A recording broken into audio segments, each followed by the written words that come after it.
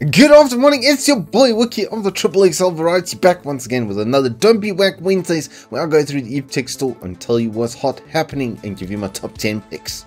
After that uh, extremely high energy intro, we move swiftly onto the new Tech Rix which is coming, well, to the EveTech store right now. It's already available on the EveTech store and I have been given a sample which I'm going to do an open air test and then put the build into the actual system itself and then do a test on the performance of the standard cooling apparatus and everything that comes with the case and give you my thoughts on it. So we'll be doing a review on this probably next week sometime. Starting off at number 10, I'm throwing in this Marvo TKL. It's 550 bucks for a full RGB mechanical TKL that's also on a flat deck. It looks like it's got an aluminium finish on it. The bang for buck here, once again, is just absolutely incredible. Uh, I have no idea about the quality of the keys or anything like that, but it's mechanical and it's 550 bucks. At number 9 it's something I've actually used. It's a 750 watt power supply from Gamdias, like really good bang for buck on these, pretty good warranty as well, three year local warranty, 1000 bucks for 80 plus bronze certified 750 watt, um, 80 plus being the very baseline test for like 80% efficiency. Bronze is just a little bit better than that. Uh, it's got a lot better coils and everything inside of it so it's going to be able to protect you from some surges from the plug and that sort of stuff just a bit better it's got a switch on the back for the RGB lighting uh, even the 500 watt on this is really good but this one in particular is just really good bang for buck and for 99% of gaming systems I mean you could even literally power a 3090 with a 5900X or 10900K off of this, absolutely no problems. Coming in on the 8th spot, it's an Antec A400 RGB CPU cooler. It's a great standard uh, tower cooler. Put this on a Mate 7700K, was pretty easy to do, and it's got direct contact with the heat pipes, which is one of the best parts of it. So it can spread that into the fins really nicely. As you can see, it is quite quite a big boy tower cooler. Luckily, it doesn't stick over the first set of RAM DIMMs, so if you've got really tall DIMMs, you should be fine. It should still have the clearance. Um, at 550 bucks with a 120mm fan in the kit, it's a pretty decent deal and three year local warranty. At number 7 it's the IKON Wireless which I've actually been doing a giveaway on our channels. If you have missed it, I'm very sorry because we're going to be drawing the uh, winners probably at about the time that this video gets published. But these are absolutely fantastic, these wireless for, for 600 bucks. Like they're honestly scarcely believable. The 17 hours battery life is like pretty accurate. I got 15 and a half with me using them on like a super high volume, constantly playing music, etc. The wireless was very strong, especially for the audio. The mic cuts out a little bit earlier, which is weird, but I've got all of those that information in the video over here with, for the, with a full review of the headset and like how the cups feel, etc. I, I, cover pretty much everything on this headset, but the, for the the value for money here is absolutely astounding. Rounding out the top half at number 6, it's a KLEVV NVMe.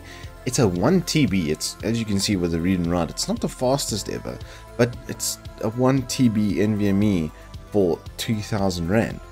I don't think that there is a 1TB with this read and write speed in the market at the moment at this kind of price point, so this seems very very strong. And then five year local warranty as well obviously means KLEVV is pretty confident in their product. Uh, it's what I would say is somewhat of a standard warranty, but it's just, I don't know, it just feels like insane value for 2000 Rand. Also, you don't have to use a SATA connection for a 2.5 drive or connect power to it. You literally just slap it on your motherboard and you're good to go. I really like this brand at the moment. It's uh, all MIT stuff as well, made in Taiwan. So, you know, it's got that like Asus MSI quality to it. Breaking into the top half at number 5, it's my favorite gaming monitor right now. It's the one I'm using to do this video on. It's this Dell S2721HGF. It's quite a mouthful, but it's also quite a monitor. Proper G-Sync enabled. NVIDIA Reflex Boost works fantastically. I played some COD with it on and did some slapping. So I, I'm just I'm just having a really good time with this keyboard. I think that or keyboard, um, monitor. I may have had some tuck before filming today, but but this monitor is absolutely fantastic. It's the best way to go 144 right now. The 1 millisecond response time is on the MPRT mode, so Uh, don't believe the jargon, but you don't need better than 4 anyway. VA panel, it is a little bit slower response time. In some games, I've had to cap my frame limit, frame rate, especially when I wasn't using G-Sync. But G-Sync eliminates all of those things and just makes it really, really nice. So, yeah, curved periscope neck. It's it's nah, it's very nah.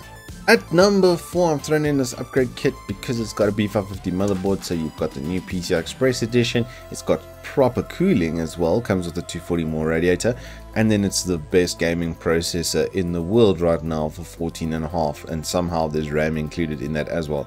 The processor alone, like retail price is like 12k, so how for like 3 grand, uh, not even, like have you thrown in a proper motherboard with an M.2 heatsink and RAM and a cooler?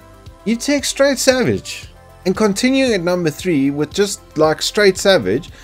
Ryzen 5 3600 still a really good 6 core 12 thread processor. Can do anything gaming whatever you wanted to do. You can do development workloads on this. It runs absolutely fantastic little chip. Easier to keep cool than Jacob Zuma in a court case. B550A Pro I mean like it's a really solid spec motherboard. Nice port setup like it's got every it checks every box that I'm looking for when I go motherboard shopping to be very honest with you. And then like the only thing that you're going to look to upgrade at some point in the future is the RAM but it's still 16 gig. So there's nothing it can't do out of box. It it does have some nice upgrade parting because you've got proper forced DIMM slots as well. You can put pretty much any processor that's come out or is on sale from AMD on the motherboard. Plus it's got a great motherboard for 6,800 bucks. Like this is a really solid base platform for gaming if you're looking at like I would say until kind of uh, 3060 Ti, that sort of level, th this wouldn't struggle at all. You'll have almost no CPU bottleneck. Like EveTech, straight savage. At number two, I've thrown in this Antec case. I haven't really featured Antec cases because not all of the, I didn't like the layouts of, of a lot of them to be very honest with you. But this NX410, see they did something crucial that you need here. They've created proper like expansion for fans at the top so that you can expel hot air properly. Two 140s or two 120s. Plus now with this case there's a 355mm I believe it was or 335mm support for GPUs so you can put a proper fat boy GPU in. Uh, my 2070 Super Gaming X I think is 320mm so it would fit and nicely like there'd still be a decent gap between the fan and, and where the GPU is obviously full ATX motherboard. Uh, there is a convertible um, rack for the 3.5, but it looks like on the base 3.5, uh, at least it's only for one at the back, which might be a bit of an issue for you. Nice SSD space. But why I say this is critical, right, is because you generally want your air intake to go in the front and then expel out the back like that as it heats up. So you're getting nice fresh air fed onto your core component or your critical components, being your RAM, your CPU, and your GPU. And this fan, this case can do it now. And what's even nicer about it, to be honest, is the fact that what you see is what you get. There's two 140s up front, so you got plenty of intake and a 120 at the back. The only thing you would need to add to this case, in my opinion, would be another 120 out the top, and then you'll have more in than you've got out as well. So there'll be some nice static pressure building up in there to keep the dust out of the out of the system as well. Like, and you can get it in a white or a black finish. It's like got a really nice look and feel. Tempered uh, side pan, a glass side panel with the swing arm door setup. Like, it looks really promising actually uncle EveTech, i really wouldn't mind one of these for review if you would send it through. I think that the performance on this will be absolutely fantastic even with the included fan kit. All of that for 950 bucks like and the other the black one's 900 rand as well. Like it seems like a really good bang for buck at number one, I've thrown in this Corsair Dark Core RGB. Now, I'm not the biggest fan of Corsair over the last couple of years.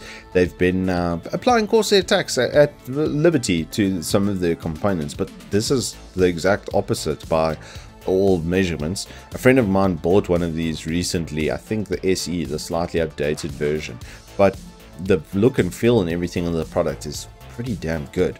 And for 1300 Rand for a proper wireless mouse that has a proper sensor in it, maybe the weight and shape and everything is not for you. But if you're looking for something like wireless that's going to be good, like I highly suggest this. I found it extremely comfortable. The Erghost like sort of like style of the mouse where you can uh, swap out some of the side pieces is nice. Like it's it's a really good package for 1,300 bucks I don't see a better wireless mouse at the moment. And it's also got Bluetooth, so it can connect without the dongle to a laptop or something to that effect. Really nice, really nice crossover product. To your local warranty as well. Solid. Anywho, that is all I have for you today. If you have enjoyed it, please hit us up with a like and subscribe. And I'll see you again on Friday.